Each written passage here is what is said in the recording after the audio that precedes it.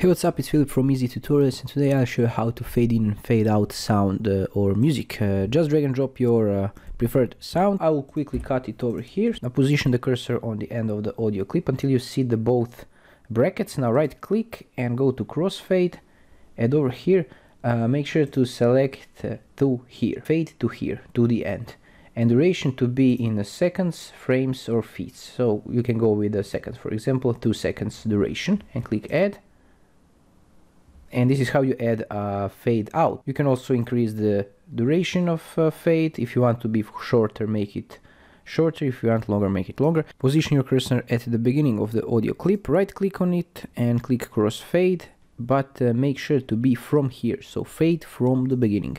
Also make sure to add seconds and you have a nice fade in effect for your audio clip. If you find this helpful, let me know in the comments below. Thanks for watching and have a nice day. Bye bye.